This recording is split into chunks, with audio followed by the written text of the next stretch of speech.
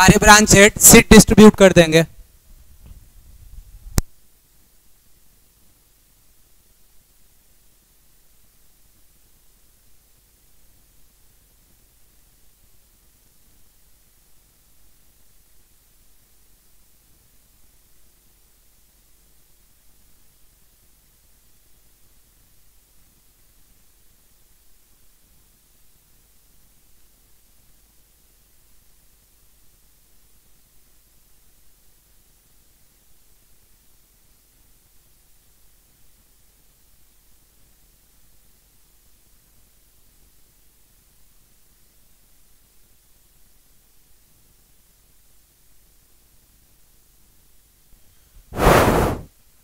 एक बार हेडिंग लगाइए बोट एंड स्ट्रीम नाव धारा की बात होगी।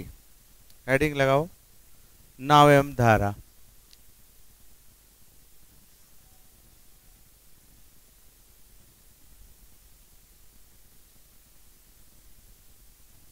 इसको हम कहते बोट्स एंड स्ट्रीम इसमें नाव धारा के क्वेश्चन आपसे पूछे जाते हैं। है ना? तो इसमें कम ही क्वेश्चन बनते ही है। इसमें ज़्यादा क्वेश्चन बनते ही नहीं है। क्योंकि नाव रोड पे तो चलेगी नहीं पहला नंबर। अगर रोड पे चलेगी तो एक्सीडेंट का खतरा है, या 20 तरह के क्वेश्चन उसमें बन सकते हैं। तो रोड पे तो वो चलेगी नहीं, वो सिर्फ़ पानी में ही चलती है। तो अगर वो पानी में चलती है तो पानी में एक्सीडेंट के तो क्वेश्चन पहला नहीं नहीं बनेंगे, नाव में नहीं बनेंगे। तो पानी में चलेगी तो या तो वो शांत जल में चल सकती है, मान लो कि किसी तालाब में चल सकती है या झील में चल सकती है, या वो कभी कभी धारा के साथ चल सकती है, और या वो कभी कभी धारा के विपरीत भी चल सकती है, धारा के विपरीत भी चल सकती है। मतलब कुल मिला के तीन ही कंडीशन हो सकती है नाव को चलने की। या तो उसको धारा के साथ चला दो, या तो उसको धारा के विपरीत चला दो, और या तो उसको आप शांत जल में चला दो। मतलब तीन कंडीशन है। तो आप समझ सकते हैं कि ज़्यादा से ज़्यादा क्वेश्चन दस से ज़्यादा नहीं बनेंगे। है ना? आप शांत जल में चला के दो चार क्वेश्चनों को बना लो। धारा के साथ चला के भी दो चार क्वेश्चनों को बना लो और धारा के विपरीत चल के भी ज़बरदस्ती दो चार क्वेश्चनों को बना लो। समझ पा रहे हैं कि नहीं? अब मैं आपको बताता हूँ कि इसमें होता क्या है। है ना? एक बार मैं बता देता हूँ, उसके बाद आप उसको खुद ही समझ जाओगे कि इसमें ज़्यादा कुछ होता ही नहीं है।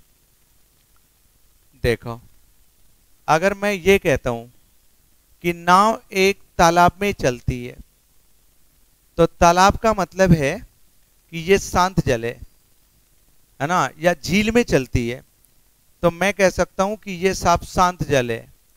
अगर इसमें आप नाव को ऐसे चला रहे हो और मान लो इसकी स्पीड 20 किलोमीटर पर आवर है, मान लो, मैं ये नहीं कहता कि ये ज़रूरी है कि वो उसकी स्पीड 20 किलोमीटर पर आवर होगी ही होगी, ये कोई ज़रूरी नहीं है, कुछ भी हो सकती है। लेकिन अगर मान लीजिए शांत जल में नाव की चाल अगर 20 किलोमीटर आपको बताई गई है तो इसका मतलब ये माना जाएगा कि वो नाव की अपनी पावर है। क्योंकि अगर शांत जल में मैं मार्कर को ऐसे डाल दूँ तो ये पाँच दिन के बाद भी वहीं पे खड़ा मिलेगा। क्योंकि पानी में कोई मूवमेंट नहीं है। तो पानी में मूवमेंट नहीं है तो अगर इसके पास पावर है तो ये बढ़ेगा।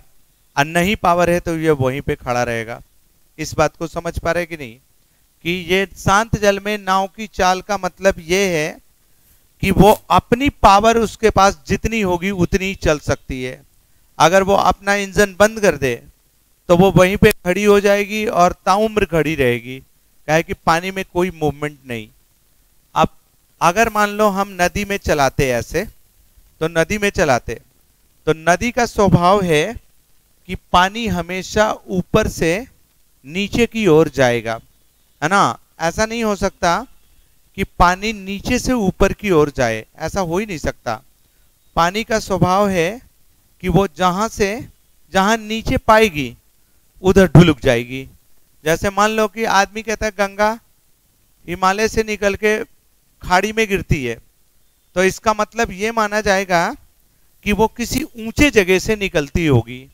और ऐसे उत्तर प्रदेश की धरती होते हुए, बिहार होते हुए, बंगाल होते हुए वो जाके गिर जाती है।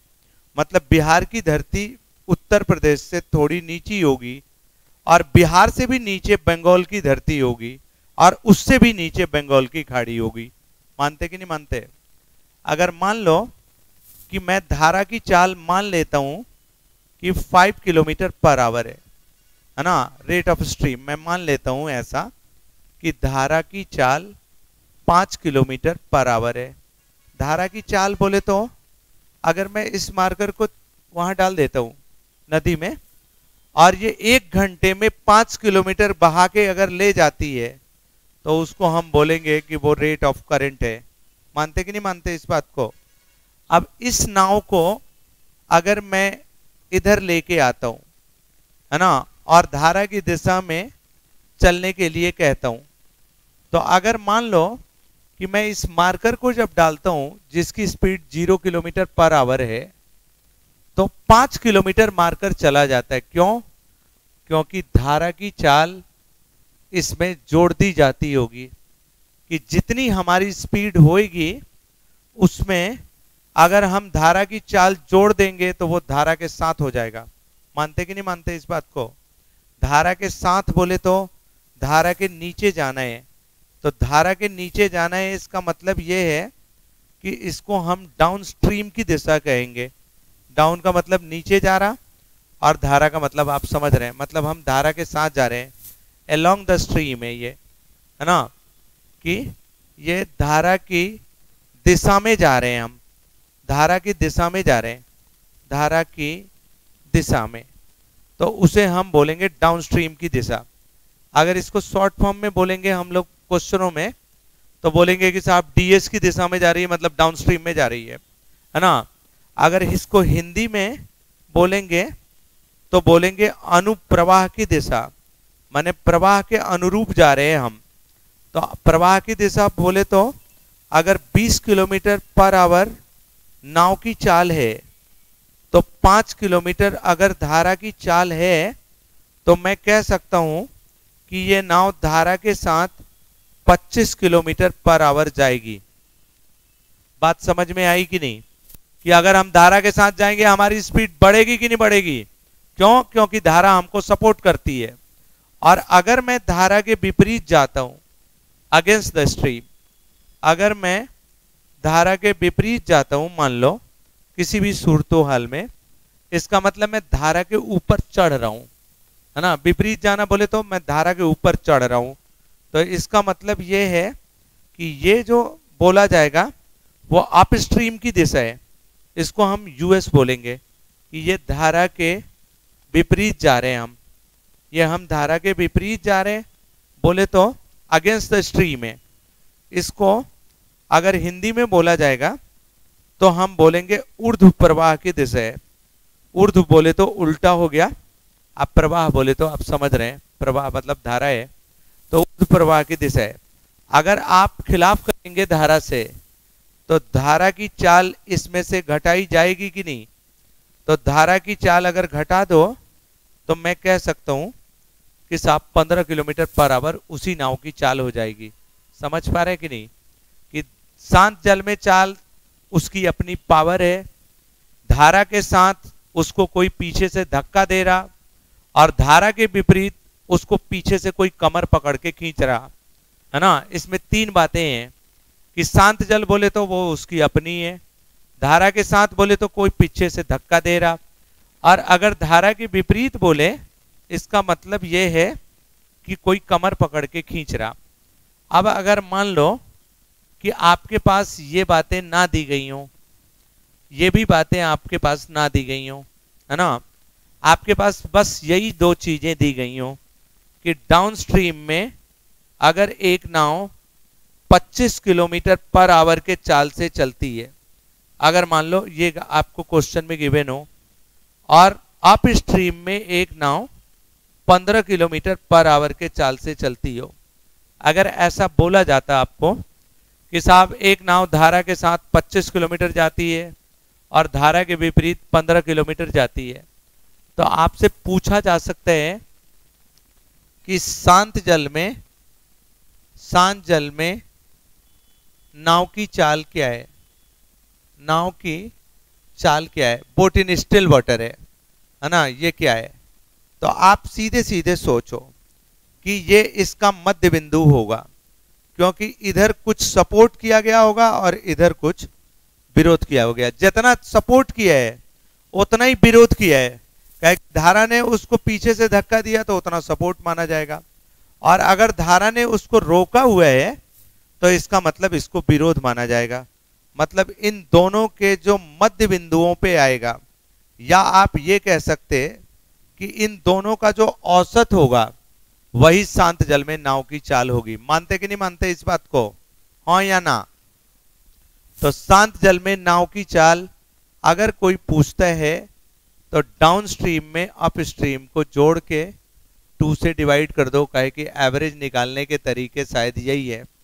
है ना? कि दो आदमियों के अगर औसत निकाले जाएँ तो इसका मतलब ये माना जाए कि दोनों को जोड़ लो और जोड़ के टू से डिवाइड कर दो, वो इक्वली डिवाइड हो जाएगा। समझ पा रहे अगर मान लो, एक तो वो याद रखो आप। और दूसरा याद रखो कि धारा की चाल हम कैसे निकाल सकते हैं। तो धारा की चाल के बोले तो ये हम कहेंगे कि इधर मेरे को x सपोर्ट किया गया है और इधर मेरे में x घटा दिया गया होगा। अगर मैं x को धारा की चाल दू तो तो आप ये कहेंगे कि अगर ये इधर x बढ़ गया और उधर x घट गया मतलब इन दोनों का जो डिफरेंस होगा, वो इसी 2x के बराबर होगा। मानते कि नहीं मानते? आपको एक रुपये दे दिया, मेरे से एक रुपये ले लिया तो इसका मतलब हम दोनों में अंतर दो रुपये का हुआ कि नहीं? मान लो हम दोनों पचास पचास रुपए के मालिक हैं। अगर आपके अंदर पाँच रुपए ले लिए गए आपसे और मेरे को पाँच रुपए दे दिए तो दो यूनिट की वैल्यू दस के बराबर होगी कि नहीं होगी? तो दो यूनिट की वैल्यू दस के बराबर तो एक यूनिट की वैल्यू पाँच के बराबर। समझ पा रहे हैं कि नहीं? कि धारा की चाल अगर पूछेगा rate of stream rate of stream अगर ये बातें पूछी जाएँगी तो डाउन स्ट्रीम में से अप स्ट्रीम को घटा दियो। और घटा के दो से डिवाइड कर दियो। एक बात तो ये आपको याद रहनी चाहिए कि मैं धारा की चाल कैसे निकाल सकता हूँ? तो डाउन स्ट्रीम में अप स्ट्रीम को जोड़ के टू से डिवाइड घटा के डिवाइड करूँगा। और शांत जल में मैं कैसे निकाल सकता हूँ? तो दोनों को जोड़ के टू से डिवाइड कर दूँगा। है ना? अगर दो बातें हमें याद हैं, है ना? या मेरी ये पकड़ है इस पे तो कोई मद्दा नहीं बनता कि बोट एंड स्ट्रीम के क्वेश्चन मेरे से फंस जाएँगे।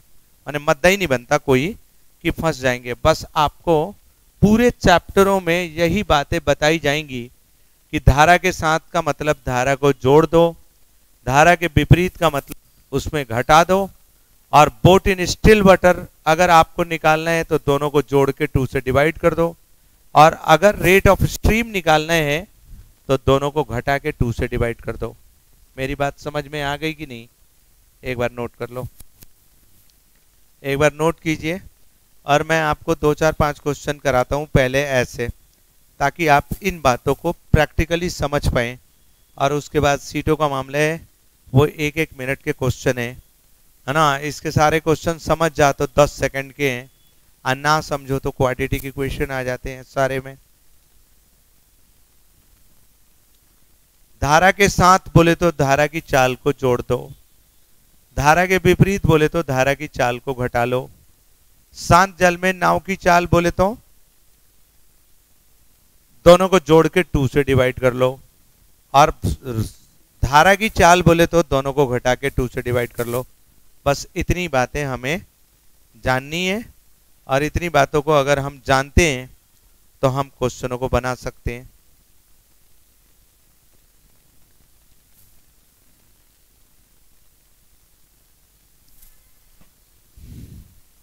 अब मिटा दें इसको।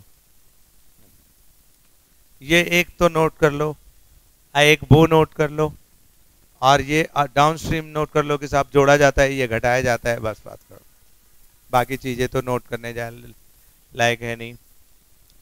धारा के साथ को अगर वो बोलेगा तो वो अनुप्रवाह की दिशा बोलेगा। देखा, अनु, अनुप्रिया होती है मतलब अनुरूप चल रही है है ना? अब वो उर्दू है। ऐसे याद रखो डाउन स्ट्रीम अप स्ट्रीम कि साहब, धारा के नीचे जाएँगे मतलब साथ चल रहे हैं। अगर धारा के विपरीत जाएँगे, इसका मतलब हम उल्टा ऊपर चढ़ रहे हैं। डाउन स्ट्रीम अप स्ट्रीम ऐसे दिमाग में रख लो। कि साहब डाउन स्ट्रीम ये होता है अप स्ट्रीम ये होता है।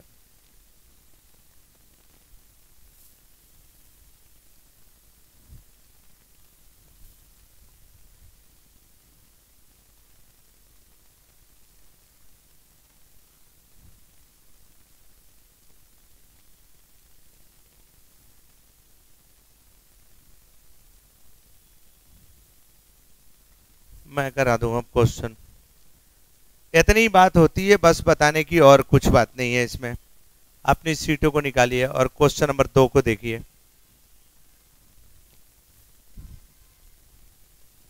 क्वेश्चन नंबर दो को देखिए अब। मैं बताते चलता हूँ, दो चार पाँच क्वेश्चन बाद में आप करेंगे। क्वेश्चन नंबर दो। क्वेश्चन नंबर दो।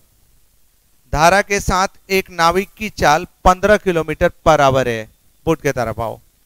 धारा के साथ बोले तो मैं ये जैसे ही लाइन सुनता हूँ तो मेरे दिमाग में ये बात आ रही है कि मेरे को कोई पीछे से धक्का दे रहा। मैं जैसे ही ये लाइन सुनता हूँ धारा के साथ तो मेरे को ये दिमाग में तुरंत बात आ रही है कि मेरे को कोई पीछे से ज़रूर धक्का दे रहा। और अगली लाइन में कह रहा कि धारा की चाल डेढ़ किलोमीटर पर आवर है। तो धक्का कितने स्पीड से दिया जा रहा मेरे को? 1.5 सही है ना? तो शांत जल में चाल मैं निकाल सकता हूँ। कि शांत जल में इसका मतलब है कि चाल डेढ़ किलोमीटर कम होगा। सही जा रहे हैं, गलत जा रहे हैं? धारा के साथ का मतलब उसमें जोड़ा गया होगा डेढ़ तो वो पंद्रह आया होगा। जब हम शांत जल में निकालना चाहेंगे शांत जल में नाव की चाल क्या है? तो साढ़े तेरह आएगी। लेकिन उसने पूछा है कि धारा के विरुद्ध क्या है? मैं समझ जाऊँगा कि मेरे को पीछे से कोई 1.5 से अब रोकना चाहता है। तभी वो धारा के विपरीत है।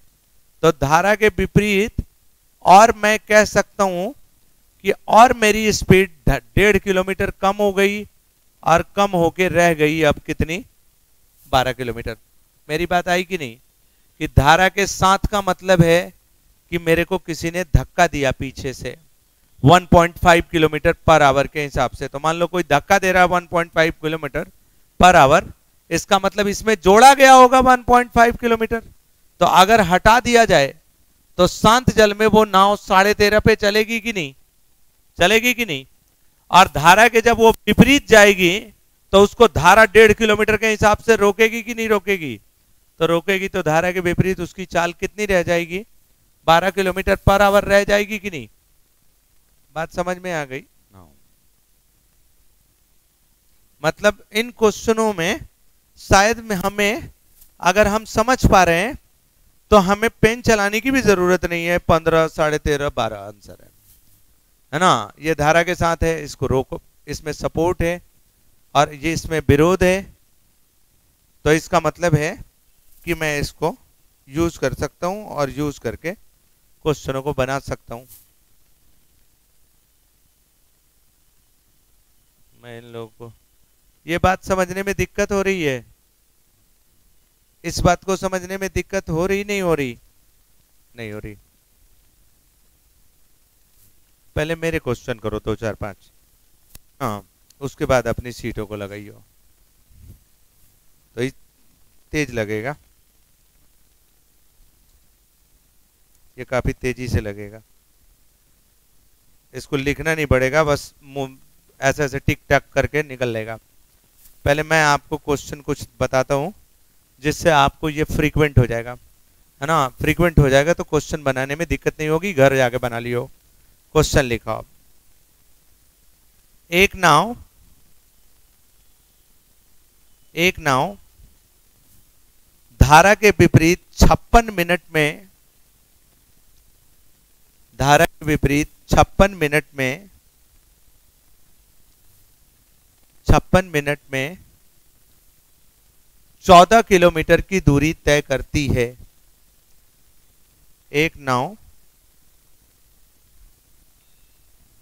एक नाव, धारा के विपरीत छप्पन मिनट में, छप्पन मिनट में चौदह किलोमीटर की दूरी को तय करती है, तय करती है, यदि धारा की चाल, यदि धारा की चाल चाल दो किलोमीटर प्रति घंटा है, धारा की चाल दो किलोमीटर प्रति घंटा है, प्रति घंटा है तो शांत जल में नाव की चाल क्या है?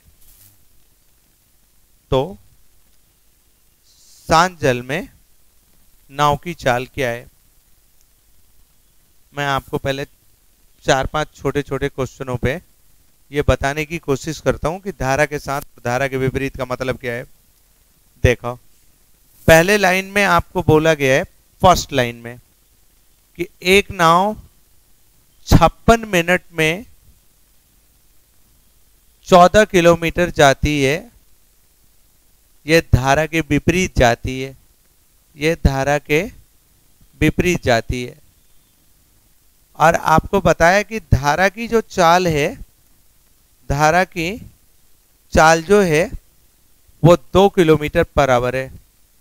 तो आपसे पूछा हुआ है क्वेश्चन में कि शांत जल में चाल बताओ। तो इसके लिए बहुत ज़रूरी है कि धारा के विपरीत किलोमीटर पर आवर में मेरे को चाल मालूम हो, है ना? कि धारा के विपरीत अगर किलोमीटर पर आवर में मेरे को चाल मालूम होगी तो मैं दो उसमें जोड़ दूँगा तो शांत जल में नाव की चाल आ जाएगी। तो अगर छप्पन मिनट में कोई चौदह किलोमीटर जाता है तो एक मिनट में चौदह बटा कितना जाएगा? छप्पन। तो साठ मिनट निकालेंगे तो किलोमीटर पर आवर आएगा कि नहीं? एक घंटे में साठ मिनट होता कि नहीं होता? तो अगर मैं इसको चार से काट लूँ और इसको पंद्रह से काट लो तो मेरे को ये बात पता लग जाएगी कि धारा के विपरीत मेरी चाल पंद्रह किलोमीटर पर आवर है। है ना? और अगर ये बात मेरे को पता लग गई कि धारा के विपरीत मेरी चाल पंद्रह किलोमीटर पर आवर है और धारा की भी चाल भी मालूम है तो मैं समझ सकता हूँ कि धारा ने मेरे को पीछे से दो किलोमीटर से रोका होगा। अगर वो छोड़ देगी तो मैं सत्रह किलोमीटर पर आवर के हिसाब से जा सकूँगा। और वही शांत जल में नाव की चाल मानी जाएगी कि फ्री हैंड छोड़ दिया, बिल्कुल। बात समझ में आ गई कि नहीं? कि शांत जल में नाव की चाल अगर पूछते हैं तो देखो, धारा ने इसको रोका हुआ है दो किलोमीटर के हिसाब से। फिर भी अपनी स्पीड को ये पंद्रह किलोमीटर मेंटेन कर रही है। तो अगर धारा छोड़ देगी फ्री हैंड तो वो दो किलोमीटर जो रोक रही है, वो बढ़ जाएगी। और बढ़ जाएगी और वो सत्रह किलोमीटर पर आवर शांत जल में चाल हो जाएगी। और कहेगा कि धारा के साथ बताओ तो धारा इसको पीछे से दो किलोमीटर के हिसाब से फिर धक्का दे देगी और स्पीड कितनी हो जाएगी? 19 हो जाएगी। मेरी बात समझ में आई कि नहीं? कि धारा के विपरीत का मतलब है कि किसी ने उसको पीछे से पकड़ा हुआ है है ना? पकड़ा हुआ है, उसको रोका हुआ दो किलोमीटर पर आवर के हिसाब से। तो अगर दो किलोमीटर पर आवर के हिसाब से अगर आपको मैंने रोका हुआ है, पीछे से रोका हुआ है, पकड़ा हुआ है कमर, है ना? तब भी आप पंद्रह जा रहे हैं। तो मैं छोड़ दूँगा तो सत्रह जाएँगे कि नहीं जाएँगे? तो छोड़ दूँगा, बोले तो शांत जल में नाव की चाल हो गई। और अगर मैं पीछे से लात से मार दू, डेढ़ किलोमीटर दो किलोमीटर और तो आप 19 किलोमीटर जाएँगे कि नहीं जाएँगे? तो यह धारा के साथ है यह शांत जल है, और यह धारा के विपरीत है है ना? हम इन बातों को जितनी जल्दी सीखेंगे, उतनी जल्दी हम सेकंडों में आंसर निकाल सकते हैं। बस हम इन बातों को जान लें, है ना? उसके बाद हम विद इन सेकंड क्वेश्चनों के आंसर है, और ज़्यादा से ज़्यादा 20 सेकंड लगता है। जितना क्वेश्चन को पढ़ने में लगता है, उतने देर में आंसर आ सकते हैं। अगर हम इन बातों को जितनी जल्दी समझ जाएँगे, उतनी जल्दी हमारा चैप्टर भी खत्म हो जाएगा। और हम इसके आंसर्स भी जल्दी जल्दी करने लगेंगे। ये बात समझ में आ गई आपको? क्वेश्चन लिखिए। क्वेश्चन लिखिए।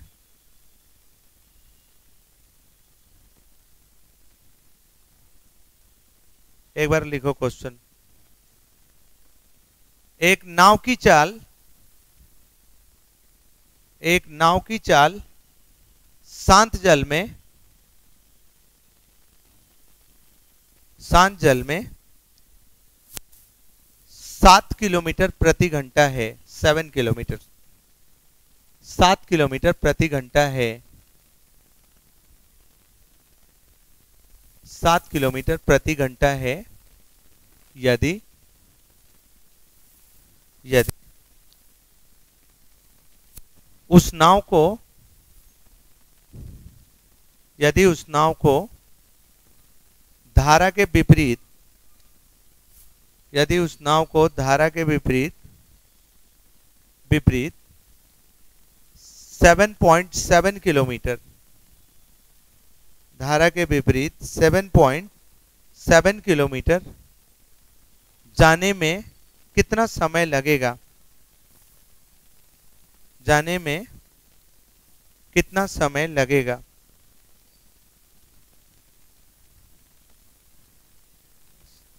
सेवन पॉइंट सेवन किलोमीटर जाने में कितना समय लगेगा? मैं एक बार बताऊँ आपको? मेरे को धारा के विपरीत जाना है सेवन पॉइंट सेवन और मेरी चाल शांत जल में सेवन है, और धारा की चाल वन पॉइंट फाइव है। तो मैं अगर धारा के विपरीत जाना चाहता हूँ तो धारा उसको रोकेगी। तो सेवन में से 1.5 को घटाया जाएगा क्या कि धारा उसको रोक देगी। रोकेगी कि नहीं रोकेगी? हैं? तो धारा की चाल लिख लो 1.5 यदि धारा की चाल 1.5 किलोमीटर है तो? एक लाइन जोड़ लीजिए।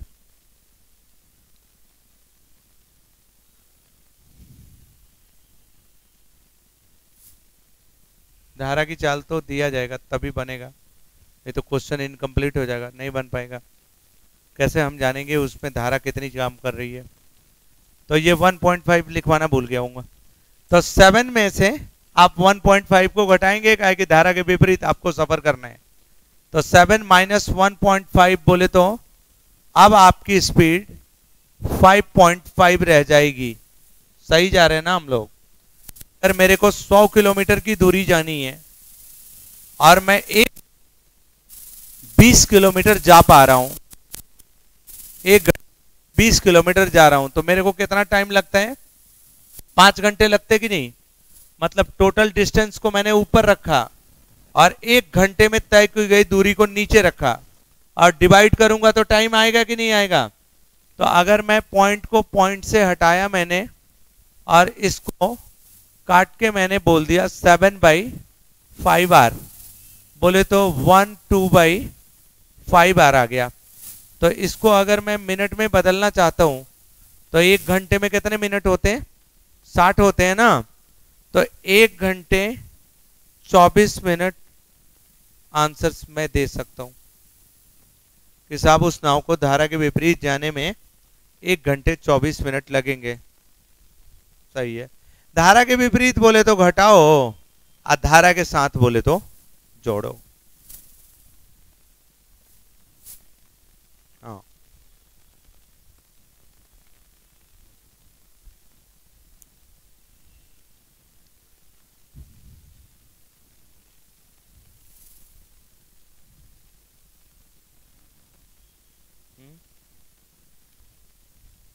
कट रही है। सही जा रही है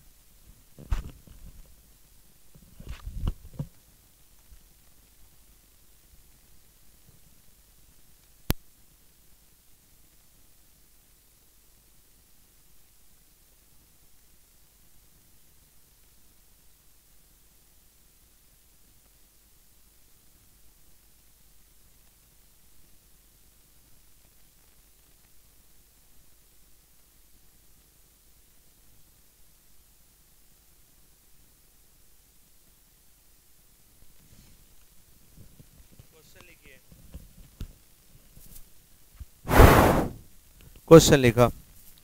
एक आदमी धारा के साथ 26 किलोमीटर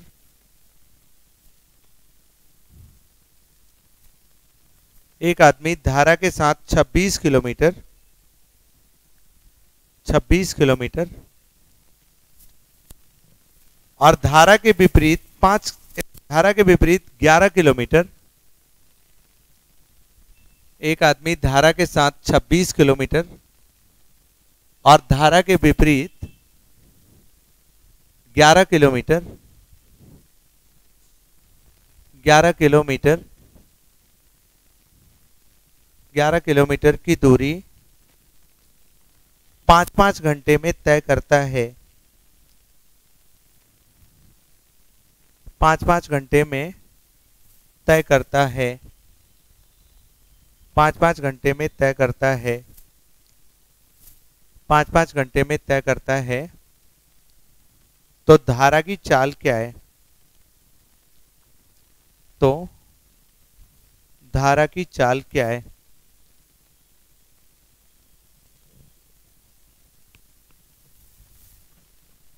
मैं बताऊँ आपको। धारा की चाल हम तब निकाल सकते हैं, माने आराम से निकालने के लिए तो कई तरीके से निकाल सकते हैं। आराम से हम तभी निकाल सकते हैं जब डाउन स्ट्रीम और अप स्ट्रीम हमारे पास हो तो मैं इसको दोनों को घटा के टू से डिवाइड कर सकता हूँ। कर सकता हूँ ना? तो क्वेश्चन में कहता है कि वो आदमी धारा के साथ, धारा के साथ 26 किलोमीटर की दूरी पाँच घंटे में तय कर लिया उसने। तो इसका मतलब यह है कि धारा के साथ उस बंदे की स्पीड 5.2 किलोमीटर पर आवर होगी। सही जा रहे हैं हम लोग? और धारा के विपरीत अगर वो आदमी मान लो कि 11 किलोमीटर की दूरी पाँच घंटे में तय करता है तो इसका मतलब ये माना जाएगा कि इसकी स्पीड है 2.2 किलोमीटर पर आवर कि धारा के साथ भी मेरी स्पीड निकाली जा सकती है और धारा के विपरीत भी मैं स्पीड निकाल सकता हूँ, क्योंकि ये बताया गया है कि 26 किलोमीटर मैं पाँच घंटे में साथ में जा सकता हूँ और विपरीत में मैं 11 किलोमीटर पाँच घंटे में जा सकता हूँ, ऐसा मेरे को बताया गया है। तो अगर धारा की चाल मेरे को निकालनी है तो मैं दोनों को घटा के और टू से डिवाइड कर सकता हूँ। तो 5.2 माइनस टू बोले तो 3 बाई टू हो गया मतलब मैं कह सकता हूँ कि 1.5 किलोमीटर पर आवर ये मेरी धारा की चाल होगी। और अगर आदमी की चाल शांत जल में पूछती है है ना, कि शांत जल में चाल बता दो इनकेस मैंने पूछा होता, शांत जल में चाल को बता दो, अगर ऐसा पूछा होता तो आप कह देते कि 5.2 2.2 डिवाइडेड बाई टू बोले तो उस बंदे की चाल शांत जल में 3.7 किलोमीटर पर आवर होगी। मतलब शांत जल में आदमी की चाल जोड़ के डिवाइड करो टू से, और अगर धारा की चाल पूछता है तो घटा के डिवाइड करो टू से। ये दो बातें तो हमें बिल्कुल दिमाग में होनी चाहिए, है ना, कि डाउन स्ट्रीम में से अप स्ट्रीम को घटा के अगर मैं टू से डिवाइड करता हूँ तो इसका मतलब ये माना जाएगा कि मैं घटा के डिवाइड करता हूँ तो धारा की चाल निकल जाती है, और अगर मैं इसको जोड़ के डिवाइड करता हूँ तो इसका मतलब ये माना जाएगा कि साफ़ शांत जल में हमारी चाल निकल जाएगी। यस और नो। धारा के साथ और धारा के विपरीत कुछ कुछ तो बात आई क्लियर। क्वेश्चन लिखो। इसमें आपसे डिस्टेंस कैसे पूछे जाते हैं? है ना? किसमें? बोट एंड स्ट्रीम में आपसे कैसे पूछे जाएँगे डिस्टेंस? दो बातें पूछी जाएँगी। एक ही क्वेश्चनों में मैं लिखवाता हूँ, दोनों बातें। क्वेश्चन लिखिए। क्वेश्चन लिखिए। एक आदमी की चाल शांत जल में, एक आदमी की चाल शांत जल में, शांत जल में 9 किलोमीटर प्रति घंटा है। नौ किलोमीटर प्रति घंटा है। प्रति घंटा है। यदि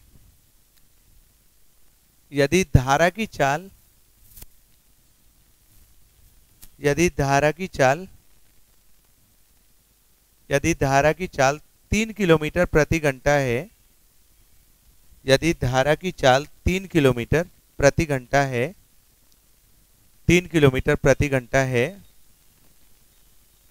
तो एक नदी में निश्चित बिंदु, निश्चित दूरी लिखिए, एक नदी में निश्चित दूरी निश्चित दूरी निश्चित दूरी, यदि आने जाने में, यदि आने जाने में, आने जाने में उसे उसे साढ़े इक्कीस घंटे का वक्त लगता है, ट्वेंटी वन पॉइंट फाइव। साढ़े इक्कीस घंटे का वक्त लगता है, वक्त लगता है तो क्वेश्चन नंबर वन ऐसे ब्लॉग लगाओ कि दूरी ज्ञात करें क्वेश्चन नंबर वन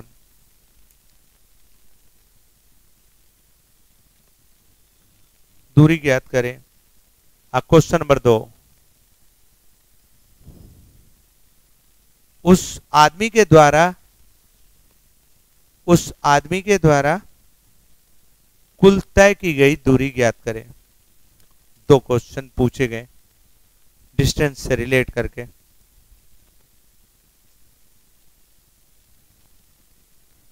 और क्वेश्चन नंबर तीन। क्वेश्चन नंबर तीन। पूरी यात्रा के दौरान उसकी औसत चाल ज्ञात कीजिए।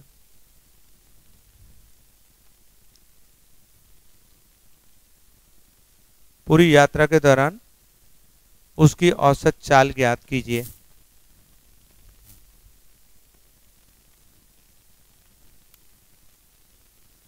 पूरी यात्रा के दौरान उसकी औसत चाल ज्ञात कीजिए। तीनों ही बातें पूछी जा सकती हैं। मतलब अलग अलग अलग अलग देखो, अगर मैं एक निश्चित दूरी को ऐसे मान लेता हूँ कि साहब, ये नदी में ए पॉइंट है और ये पॉइंट है बी तो अगर मैं नदी में जाता हूँ तो मैं एक तरफ़ से धारा के साथ जा सकता हूँ और एक तरफ़ से मेरे को जब वापस लौटना होगा तो मैं धारा के विपरीत आऊँगा, क्योंकि नदी अपना चाल नहीं बदलेगी। अगर धारा इस दिशा में चल रही है तो मैं एक बार तो धारा के साथ जा सकता हूँ, लेकिन जब मैं लौटूँगा तो धारा के विपरीत लौटूँगा, मेरी स्पीड कम होगी, पक्के तौर से। कहे कि ऐसा नहीं होगा कि नदी ने अपना चाल बदल दिया। नदी के चाल को बदला नहीं जा सकता, उसको प्रभु बदल सकते हैं। इंसान के बस का नहीं है, क्योंकि नदी तो उधर ही ढूलेगी जिधर भूमि नीचे होगी। तो अगर वो बह रही है तो वो अनवरत बह रही है। वो करोड़ों वर्षों के बाद अपना चाल बदल सकती है, वो भी भगवान के चाहने से। ना कि इंसान बदल देगा कि भाई, मैं इलाहाबाद जा रहा हूँ गंगा में, और इलाहाबाद से जब लौट रहा हूँ तो कह रहा हूँ, घूम जा अब इधर, नहीं घूमेगी। वो एक बार मेरे को धारा के साथ जाना पड़ेगा, और एक बार मेरे को धारा के विपरीत जाना पड़ेगा। तो मैं जब धारा के साथ जाऊँगा तो उसको मैं डाउन स्ट्रीम बोलूँगा। और 9 किलोमीटर अगर शांत जल में चाल है, और 3 किलोमीटर धारा की चाल है तो मैं जब धारा के साथ जाऊँगा तो मेरी स्पीड होगी 12 किलोमीटर पर आवर। क्योंकि धारा ने हमें सपोर्ट किया। और सपोर्ट किया तो मैं ये कह सकता हूँ कि हमारी चाल हो गई 12 किलोमीटर पर आवर। लेकिन जैसे ही मैं लौटूँगा उधर से तो धारा हमें विरोध करना शुरू कर देगी। क्योंकि अब मैं धारा के विपरीत आ रहा हूँ। तो विपरीत आ रहा हूँ, इसका मतलब कि उस वक्त मेरी स्पीड रह जाएगी छह किलोमीटर पर आवर। मतलब ई इतना बात तो हम समझ पा रहे हैं कि साहब एक तरफ़ से हम जाएँगे तो हमारी स्पीड ज़्यादा होगी क्योंकि धारा ने हमें सपोर्ट किया होगा। और एक तरफ़ से जब हम आएँगे तो धारा हमें रोकने लगेगी और हमारे स्पीड को कम कर देगी। हाँ या ना? तो अगर इन दो स्पीड से मैं आता जाता हूँ तो मैं 12 और 6 से कटने वाली कोई डिजिट ले सकता हूँ। और एलसीएम 12 ही ले लेता हूँ मैं। कि साहब, मैं मानता हूँ कि अगर ये दूरी 12 किलोमीटर होती तो मैं ये नहीं कह रहा हूँ कि पक्के तौर से ये 12 किलोमीटर है। मैंने माना हुआ है ये दूरी। आपको ज़्यादा मानना है तो आप ज़्यादा मान लो, है ना? लेकिन ये ज़रूर देखना कि मेरे दोनों स्पीडों से वो कट जाता हो, है ना? ताकि मेरी कैलकुलेशन क्षमता तेज हो जाए। अब देखो, अगर आपने 12 माना हुए है तो जब नदी के साथ, धारा के साथ जाएँगे तो स्पीड अगर आपकी 12 किलोमीटर पर आवर होगी तो आप सिर्फ़ एक घंटे में ही उस जगह में पहुँच जाएँगे। क्यों? क्योंकि आपकी स्पीड 12 किलोमीटर पर आवर है। और जब आप वापस लौटेंगे तो आपको छह दुनी बारह मतलब दो घंटे का वक्त लगेगा। तो इसका मतलब ये है कि अगर आप 12 किलोमीटर की दूरी को तय करते हैं, है ना तो आपको इस स्पीड से आने जाने में तीन घंटे के वक्त लगेंगे। मानते कि नहीं मानते इस बात को? हाँ या ना? तो मैं ये कह सकता हूँ कि मेरे को आने जाने में तीन घंटा तब लगेगा जब दूरी ए से बी के बीच की दूरी कितनी होगी? बारह। तो एक में कितना आएगा इतना? तो क्वेश्चन में साढ़े इक्कीस घंटा लिखवाया गया आपको। तो साढ़े इक्कीस घंटा लिखवाया गया, बोले तो? इक्कीस चौका चौरासी या दो? छियासी किलोमीटर आंसर बता सकते कि नहीं? कि साहब, उस पॉइंट की दूरी छियासी किलोमीटर पर आवर है। हाँ या ना? तो पहले क्या आंसर हो गया? छियासी किलोमीटर। फ़र्स्ट कहता है, उसकी दूरी ज्ञात कीजिए। बोले तो छियासी किलोमीटर। दूसरा जो आंसर है, वो कहता है, उसके द्वारा तय की गई दूरी ज्ञात करो। तो मान लो मैं ग्वालियर स्टेशन की बात करता हूँ। तो वो तीन किलोमीटर दूर है।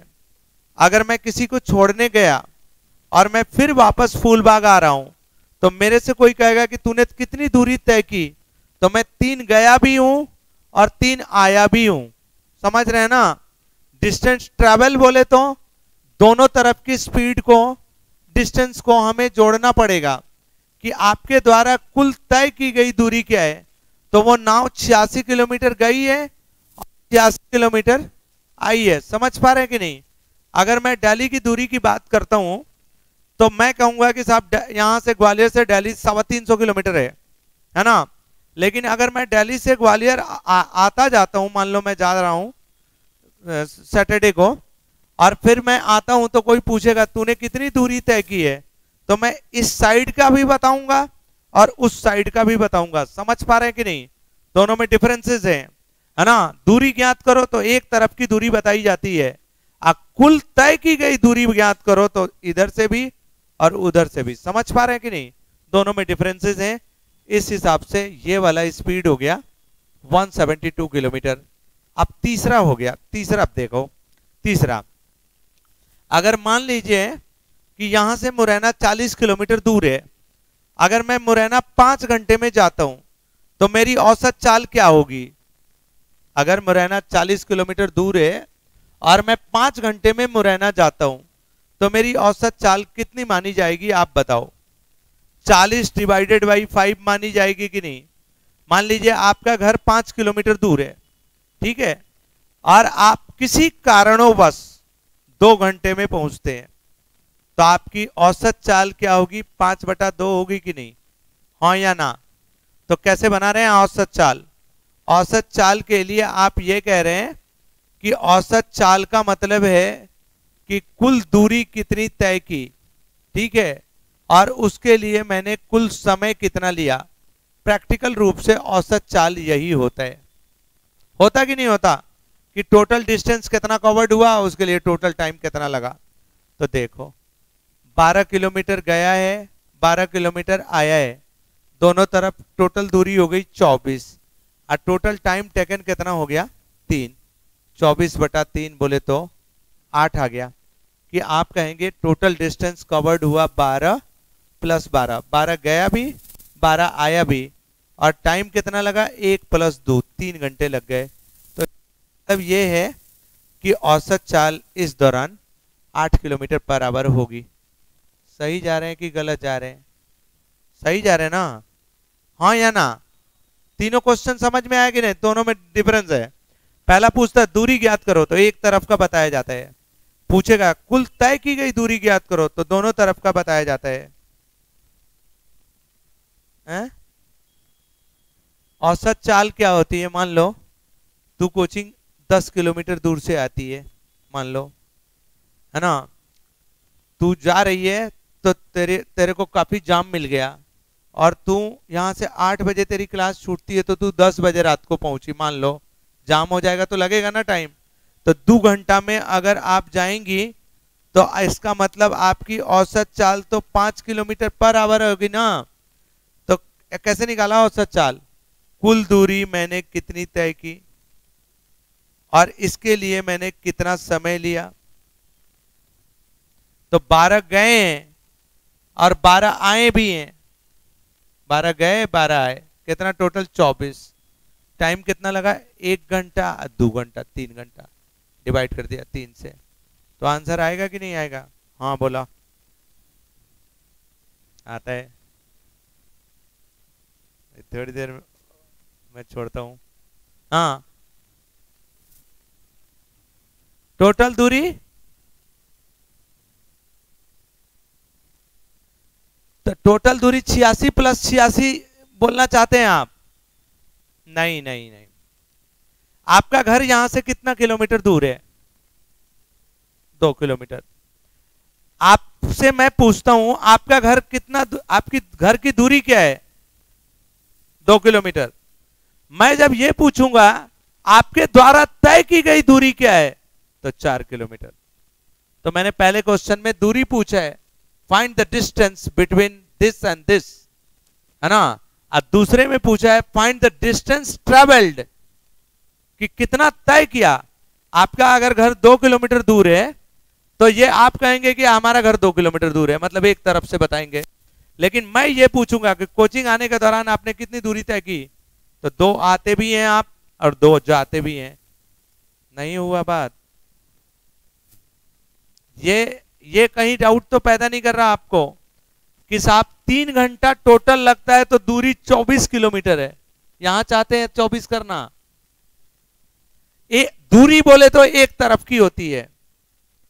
मैं ये बोलता हूँ ग्वालियर से दिल्ली के बीच की दूरी क्या है? आप कहेंगे 325 किलोमीटर। जितना मतलब मैं जानता नहीं हूँ लगभग मेरे को लगता है इतना ही होगा है ना? तो आप कहेंगे 325 किलोमीटर लेकिन अगर आप दिल्ली गए एग्जामिनेशन देने और आप आए तो मैंने कहा, कितनी दूरी तय की तूने? तो दोनों तरफ़ की बताओगे कि नहीं? समझ रहे बात को?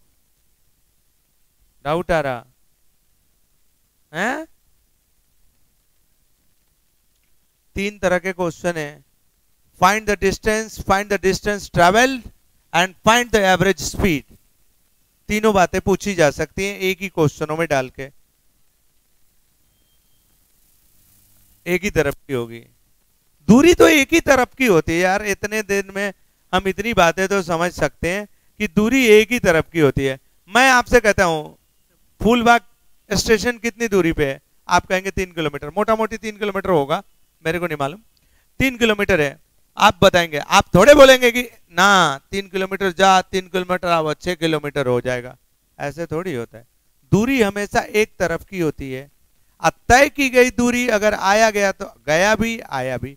तय की गई दूरी। अगर कोई कह देगा कि एक बार गया, एक बार आया, एक बार गया, एक बार आया, एक बार गया, एक बार आया, एक बार गया तो सब जोड़ना पड़ेगा। मैं तीन बार गया हूँ और आया भी हूँ। आया भी हूँ। तो तीन बार गया का और तीन बार आया का, ये भी जोड़ना पड़ेगा। Three into distance three into distance छ हो गया। लेकिन तू भर ज़िंदगी आता जाता रहे। अगर कोई तेरे से दूरी पूछेगा तो एक तरफ़ का बताना होगा। समझ रहे ना? एक तरफ़ का बताना होगा। यह तो बात आराम से सोचने वाली है कि दूरी हमेशा एक तरफ़ की बताई जाती है। तय की गई दूरी तो कई बार आए गए आप।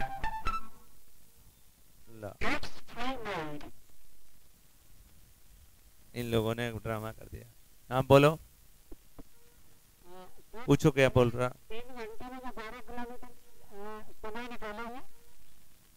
हाँ? तीन किलोमीटर में? बारह किलोमीटर। मैंने माना हुआ है। मैंने एक बार बंद करो मिटा के बताता हूँ। इन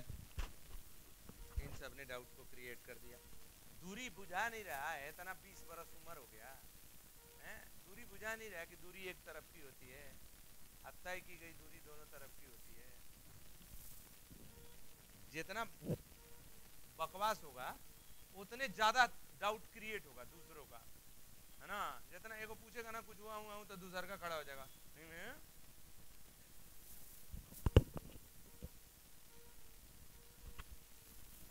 मैं दबा रहा था बात को, कि बात दबाओ नहीं तो बिना मतलब के उखाड़ने लगेगा। देखो, मैं मैं बताता हूँ। मैं बताता हूँ बताता हूँ। बताया तो मैंने, पहली बार भी सही था।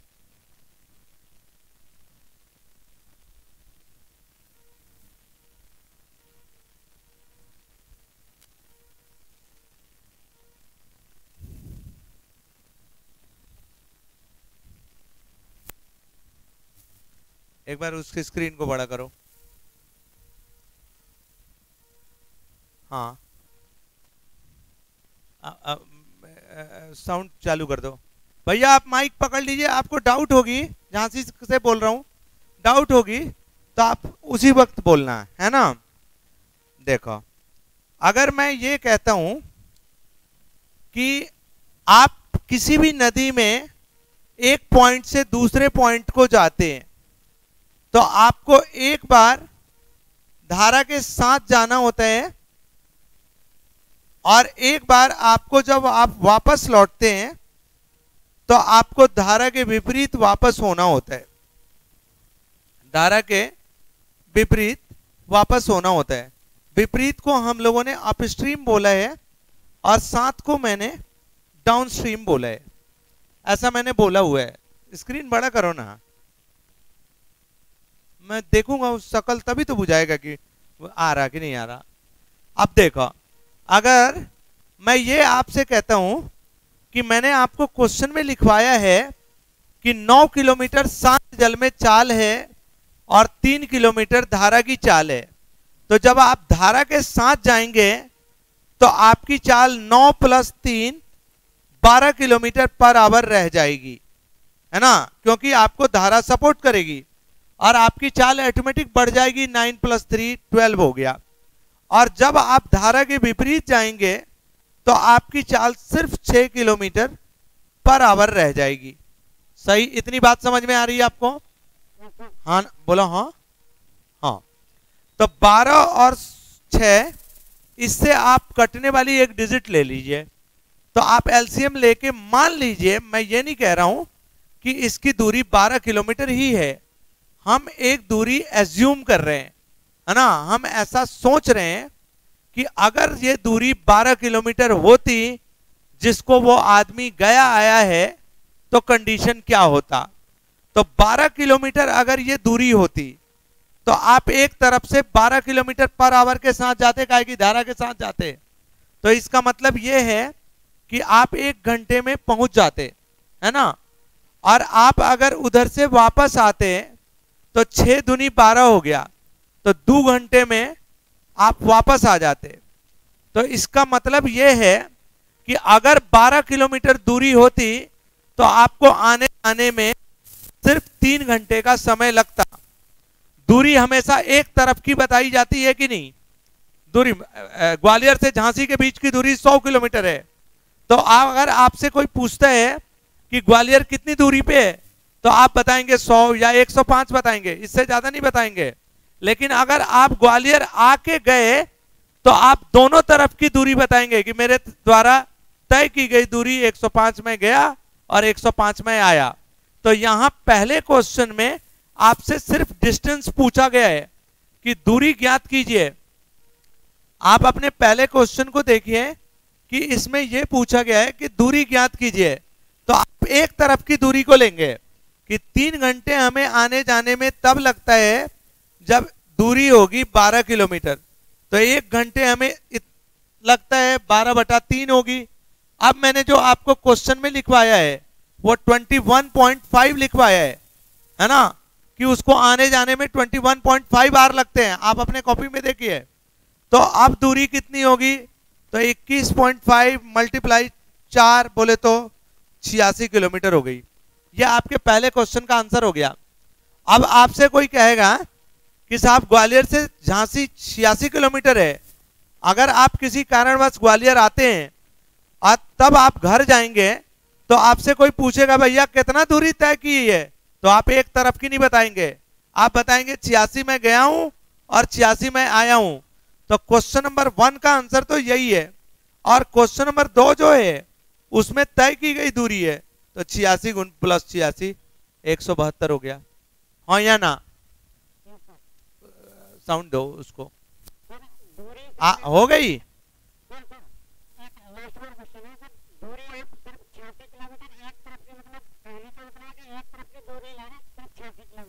क्या है?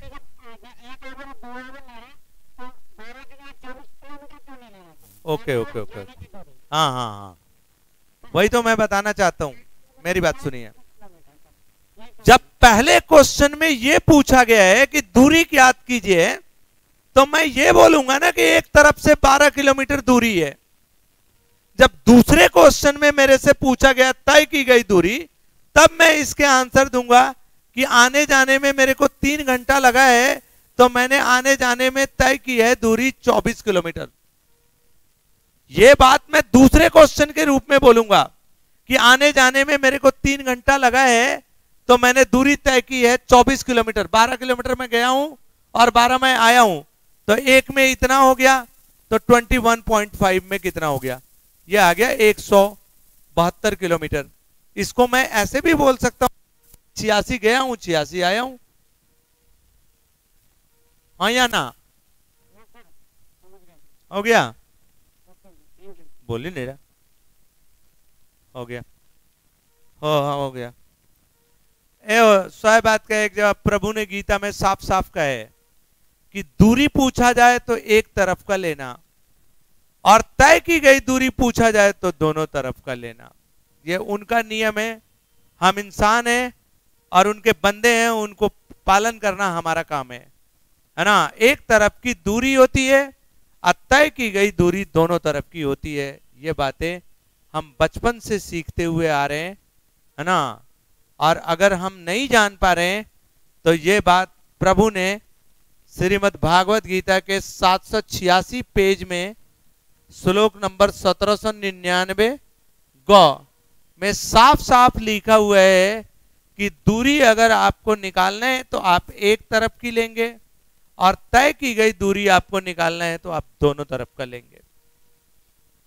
ये बात यहीं पे खत्म हो जाती है क्योंकि ये प्रभु के द्वारा लिखा हुआ है। ऐसे ही निकालना तो भी। आगे बढ़ाओ। ऐसे ही होता है। अगर नई बात समझ में आ रही तो इसका मतलब आपका मास्टर समझा नहीं पा रहा, है ना? लेकिन चीज़ें यही है है ना? चीज़ें यही है।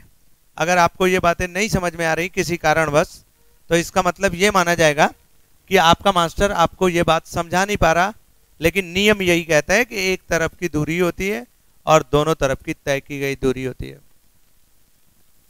अब आगे चलो, क्वेश्चन लिखो। एक क्वेश्चन आप बना के देखो। सीट निकालिए। सीट निकालिए। क्वेश्चन नंबर एट को देखिए। आप बना पा रहे हैं, नहीं बना पा रहे हैं? Question number eight.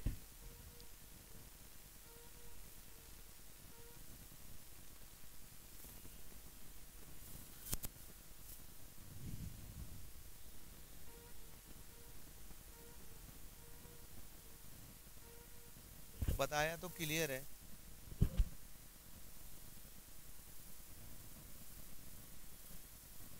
उसने पूछ दिया बस अब कंफ्यूजन शुरू हो जाएगा।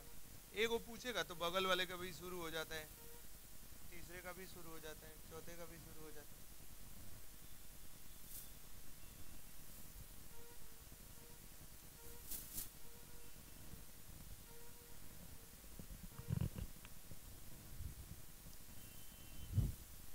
क्वेश्चन नंबर एट देखो, नदी की चाल पाँच किलोमीटर पर आवर शांत जल में। और कहता है कि धारा की चाल, नाव की चाल का 20 परसेंट है तो ये पाँच है, और इसका 20 परसेंट बोले तो एक होगा। तो धारा के साथ पाँच प्लस एक, छह हो गया। और धारा के विपरीत पाँच माइनस चार, कितना हो गया? चार हो गया। फिर दूरी मानो छह और चार से कटने वाले। बारह आएगा कि नहीं? अब यहाँ पे निकालियो। ये दो घंटे और ये तीन घंटे। तो टोटल पाँच घंटे का समय लगता है तो दूरी है बारह किलोमीटर। अब ये पचहत्तर मिनट कहता है तो पचहत्तर मिनट बोले तो साठ से डिवाइड कर दिया और फाइव बाई फोर आर आ गया। तो एक में लगता होगा बारह बटा पाँच तो पाँच बटा चार में कितना लगता होगा? आंसर फेंक दिया, तीन किलोमीटर। दूरी है, एक तरफ़ की होती है। दूरी एक तरफ़ की होती है, इतना विवाद का विषय नहीं है। कई एग्जाम्पलों से समझाया आपको।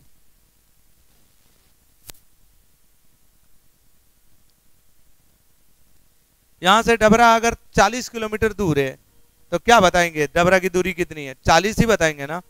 लेकिन आप घर जाएँगे, आएँगे तो कोई पूछेगा, कितना दूरी तय की? तो 80 बताएँगे। जब ये बात समझ में आ जा रही है तो ये कैसे नहीं आ रहा?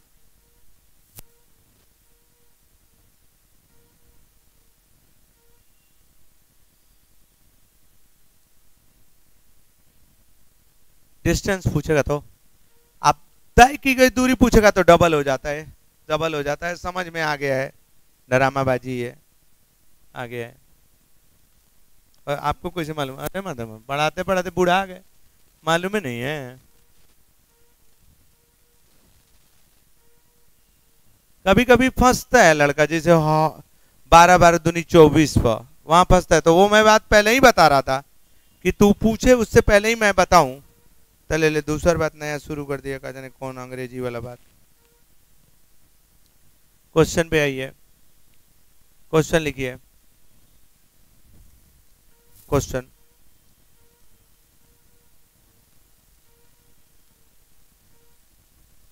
एक आदमी की शांत जल में चाल साढ़े चार किलोमीटर है।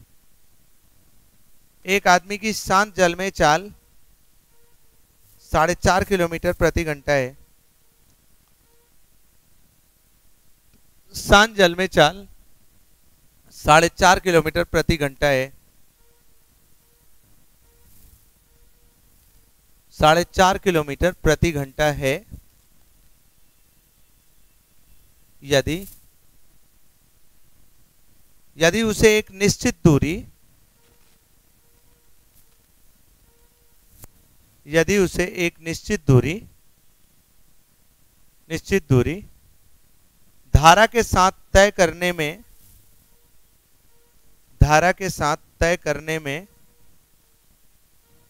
धारा के साथ तय करने में, धारा के साथ तय करने में जितना वक्त लगता है, जितना वक्त लगता है, उससे दुगना समय, उससे दुगना समय दुगना समय उससे दुगना समय, उसी दूरी को, उसी दूरी को,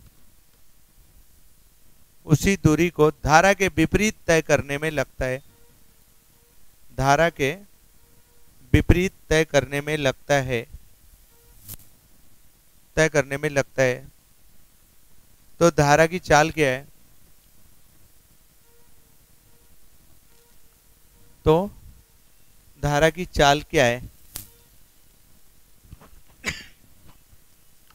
मैं बताऊँ आपको। देखो, अगर आप सीधा सीधा बोलेंगे तो अगर धारा की चाल मैंने x मान ली तो धारा के साथ ये हुए और धारा के विपरीत है ये। अगर मैं सीधा सीधा धारा की चाल x मान लेता हूँ तो धारा की चाल जोड़ दी जाती है, इधर धारा की चाल घटा दी जाती है। सही है।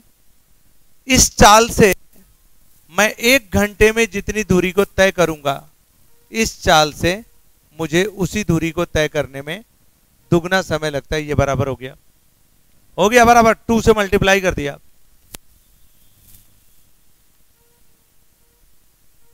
Four point five minus X multiply by two. Multiply कर दिया। कर सकता हूँ कि नहीं? ये भी डिस्टेंस सेम है, ये भी डिस्टेंस सेम है। तो मैं ऐसे लिख सकता हूँ 4.5 point five X is equal to nine minus two X इसको इसको मैं जोड़ सकता हूँ। मैं थ्री एक्स लिख सकता हूँ। ये इधर जाएगा तो जुड़ जाएगा। और nine minus four point five इसको मैं कह सकता हूँ 4.5 डिवाइडेड बाई थ्री बोले तो 1.5 किलोमीटर पर आवर कह सकता हूँ अब देखा इतने क्वेश्चन करने के बाद, आप इतनी बातें तो समझ चुके हैं कि धारा के साथ में जोड़ रहा, धारा के विपरीत में घटा रहा, समझ चुके हैं। तो आप सारे क्वेश्चनों को आप ऑप्शन से करने की सीखो, है ना? आपसे go through the given option आपके पास जो भी ऑप्शन दिए जाएँगे, उन्हीं ऑप्शनों की मदद लेना है, आपको पेन चलाने की अब ज़रूरत नहीं। है ना? कहे कि अब तक आपने पाँच, सात, आठ क्वेश्चनों को कर लिया है और अब आप इस बात को समझ चुके हैं कि धारा के साथ का मतलब जोड़ना है, धारा का विपरीत का मतलब घटाना है। अगर इतनी बातों को आप सीख चुके हैं तो इसमें इतना ड्रामा करने की ज़रूरत नहीं है। आप ऑप्शन की मदद लो, जैसे बोलो, देखो। ऑप्शन देता है, ऐसे ऐसे। दो, ढाई। अब मैं आपको ऑप्शन से क्वेश्चन सिखाता हूँ, दस। है ना, कि आप सारे क्वेश्चनों को बिना पेन चलाए ऐसे ऑप्शन देख के ये ये ये ये ये, है ना, बस इन दो तीन बातों को आपको सीखने अगर मैं इस ऑप्शन को चेक करता हूँ, इसको तो धारा के साथ साढ़े चार जोड़ के मन में जोड़ा जा सकता है फाइव पॉइंट फाइव। और इसमें से अगर इसको घटाएँ साढ़े चार में से एक को तो ये आएगा साढ़े तीन। आएगा? अगर टाइम डबल लग रहा तो स्पीड आधा होना चाहिए। अगर आपको टाइम डबल लग रहा तो स्पीड आपकी आधी होनी चाहिए कि नहीं? साढ़े पाँच का आधा तो नहीं है ना ये? नहीं है? आंसर मेरा कट गया। अगर इसको मैं जोड़ता हूँ तो साढ़े चार से छ और साढ़े चार में से डेढ़ घटा के कितना? तीन। स्पीड आधी हो गई कि नहीं? तो स्पीड आधी हो गई मतलब टाइम डबल लगेगा कि नहीं लगेगा? मेरी बात समझ में आ रही कि नहीं आ रही? हाँ या ना? कि अब इतनी क्वेश्चनों को करने के बाद बच्चे की पकड़ इतनी हो जाती है कि वो क्वेश्चन को छूने की ज़रूरत नहीं महसूस करे। और जो दिए हुए ऑप्शंस हैं, उन्हीं ऑप्शनों को खोजने की हमेशा कोशिश करे। और उसी ऑप्शन से हम चीज़ों को यूटिलाइज कर सकते हैं, तबे हमारी पकड़ मज़बूत होती है। नहीं तो हम ज़िंदगी भर एक्स के बंधनों में फंसे रहेंगे। है ना? और ये ट्रेडिशन हमारे बाप दादाओं ने फॉलो किया। हम भी यही फॉलो कर रहे हैं। तो वो लोग मोबाइल का इस्तेमाल नहीं करते थे और हम 4G का इस्तेमाल करते हैं। लेकिन काम वही कर रहे हैं जो वो लोग कर रहे हैं। तो हम इन चीज़ों का ट्रेडिशन का इस्तेमाल अब बंद करेंगे। क्यों? क्योंकि अब हम इन बातों को सीख चुके हैं कि साफ़ धारा के साथ का मतलब जोड़ना होता है और धारा के विपरीत का मतलब घटाना होता है। है ना?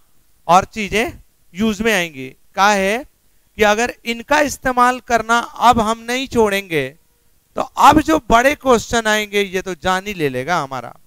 मतलब डेढ़ डेढ़ पन्ने में जाएगा। और अगर हम इसको पाँच सात क्वेश्चनों पे सीखें तो माता रानी सारे क्वेश्चन 10 से 20 सेकंड में झूलते हुए नज़र आएँगे। है ना? और आपको काफ़ी सुविधाओं को, काफ़ी सुविधा होगी। मतलब देखते ही ऑप्शन आंसर बुझा जाएगा वो यही है। यही है। मैं आपको दो चार क्वेश्चनों पे प्रैक्टिस कराता हूँ। धीरे धीरे आप उन चीज़ों को सीखिए। क्वेश्चन पे आओ। धीरे धीरे आपको मैं दस क्वेश्चन पे बताता हूँ कि ये सब की ज़रूरत ही नहीं है है ना? ये सब की ज़रूरत ही नहीं है तो स्कूल का मेथड है। स्कूल में बच्चे बनाते हैं इस तरीके से, ना? उस तरीके से कंपटीशन नहीं होता। उस तरीके से दिल को बहलाना होता है है ना? कि मैं ये किया हुआ है, मैं वो किया हुआ है, उससे कुछ नहीं होता, सर। उससे कुछ नहीं होता। आप देख रहे हैं ना पीएचडी वाले साले सफ़ाई कर्मी में फार्म भर रहे हैं, है ना? वो वही साले पढ़े लिखे गधे हैं। वो वही पढ़े लिखे, उनके पास डिग्रियाँ तो हैं, लेकिन उनके पास एक परसेंट का विजन नहीं है है ना? वो चीज़ों को बना तो सकते हैं, लेकिन वही बना सकते हैं जो उनके बुज़ुर्ग छोड़ के गए, है ना? वो अपने से एक लाइन सोच नहीं सकते। तो उनको अब अब इस दुनिया में, पहले होता था, पहले यूपीएससी में देखो दो सब्जेक्ट होते थे। एक जीएस जनरल स्टडीज़ होती थी, जो 600 नंबरों की ये 600 प्लस 600 नंबरों की टोटल आता था कितना? 1100 से नीचे पे आई है, सोचना नहीं है। सोचना नहीं है। मतलब नॉलेज की दुनिया थी सर नॉलेज की दुनिया थी। अब स्मार्टनेस की दुनिया है। अब 540 ले आओ आईएएस बन जाओ। है ना? का है? तो उन नॉलेज को हटा दिया पूरी तरह से। पूरी तरह से हटा दिया नॉलेज को, कहा कि स्मार्ट लोग चाहिए मेरे को। तो स्मार्ट लोग चाहिए। तभी तो देख रहे हैं बीस इक्कीस बरस का लड़का आईपीएस आईएएस कर जा रहा। नहीं तो पहले साला हेत्ता बड़ा बड़ा पेट ले लेके घूम रहा सब। तीस तीस बरस का, आठ बरिस से पढ़ रहा इतिहास। आठ बरिस से। तो आठ बरिस से पढ़ेगा तो आएगा कि नहीं आएगा उसको? है ना? अब बड़े बड़े साठ साठ नंबर के क्वेश्चन आते थे। वो साले रट के आठ, नौ, दस साल में बढ़ बैठ जाते थे। कलेक्टर हो जाते थे। उन हराम खोरों को इतना भी नहीं मालूम पड़ता था कि कुछ काम आता था ना तो वो उनको पता ही नहीं चलता था, सर। आईपीएस की स्थिति ये थी कि वो कांस्टेबलों से पूछा पूछा करते थे कि, शर्मा जी, इसमें क्या करना चाहिए? आप वो स्मार्ट बंदों की ज़रूरत है। हाँ देख रहे हैं ना, चाय बेचने वाला प्रधानमंत्री हो गया, नौवीं फेल डिप्टी सीएम हो गया। देख रहे कि नहीं देख रहे? तीसरी पास सीईओ हो जा रहा। अब वो जमाना लद गया। पहले इंजीनियर का मतलब बहुत होता था ना? पहले होता था ना इंजीनियर, इंजीनियरिंग किया हुआ है। आप ग्वालियर के आसपास सौ कॉलेजेस है है ना?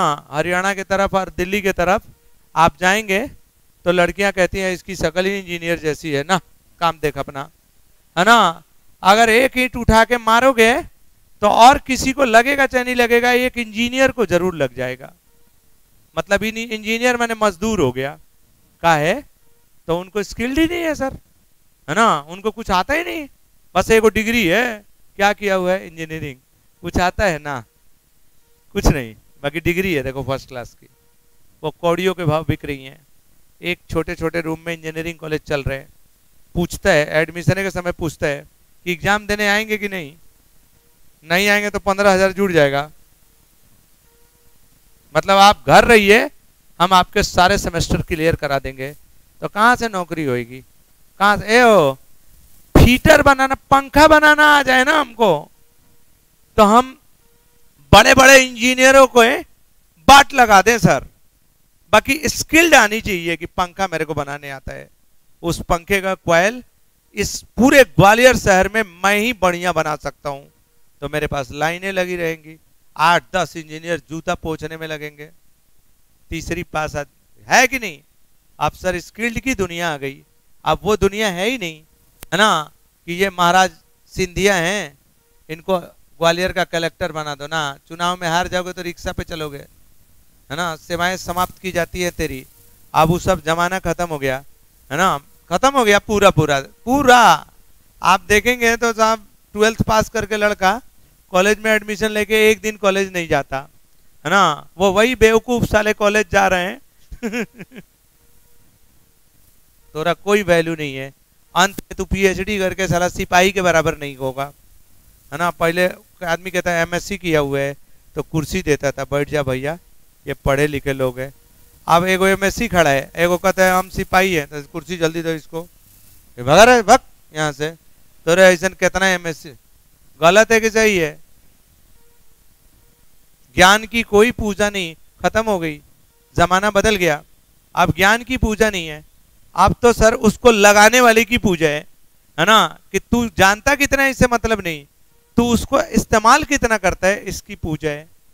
पहले था सतयुग में, कलयुग में, कि ब्राह्मण होते थे साहब विद्वान, है ना?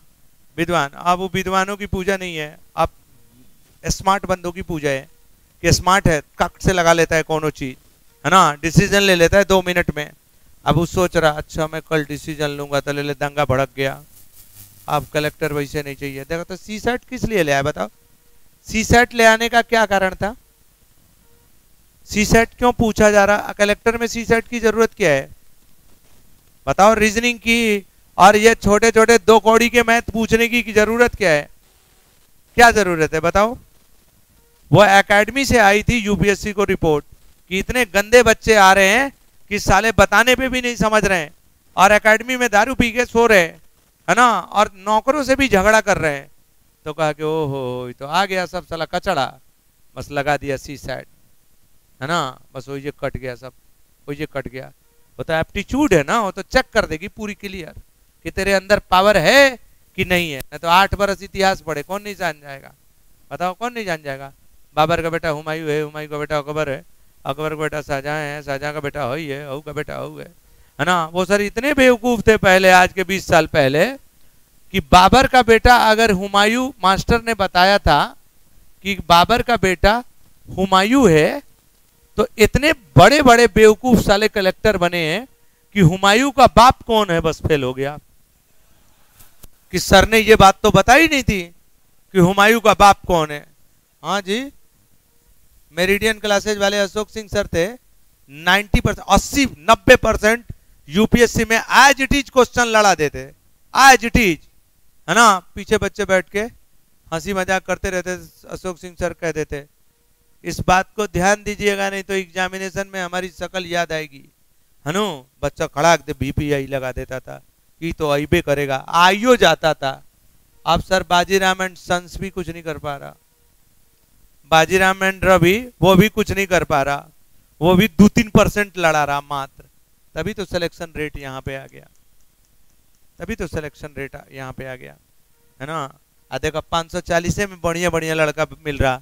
आ कुछ दिन में मैं बता रहा हूँ ना हाई अभी एक पेपर की है ना, एक पेपर ये एक को पेपर वह गायब करेगा। कहेगा टोटल जीएस पाओ। टोटल जीएस पाओ।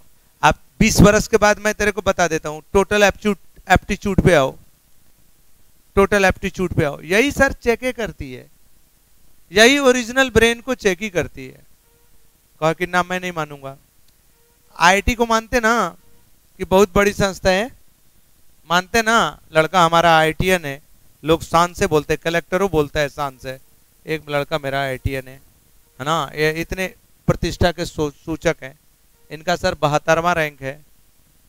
जो सबसे अच्छी संस्था है, वो फिजिक्स केमिस्ट्री मैथ को नहीं चेक करती, वो 1600 नंबर के क्वांटिटिव एप्टीट्यूड को चेक करती है।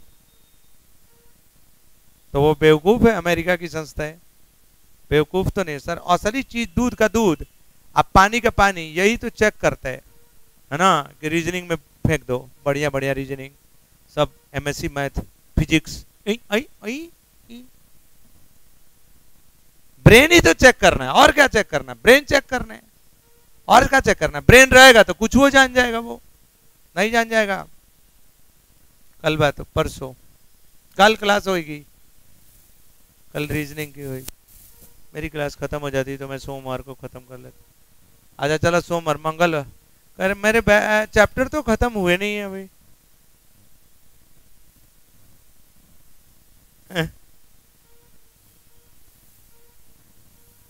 टेस्ट आपकी बताई गई थी पिछले हफ़्ते कि आपको संडे के दिन आना है टेस्ट देने। बताई गई थी नौ से ग्यारह बजे तक। सारे सेंटर को भी बता रहा हूँ, नौ से ग्यारह बजे तक आपकी टेस्ट होएगी मंडे को। संडे को संडे सोम रविवार को। रविवार को आपकी टेस्ट होएगी, आप आ जाएँगे अपने अपने सेंटरों पे। अब मंडे को चैप्टर खत्म करूँगा, जा। कल रीजनिंग की लगेगी।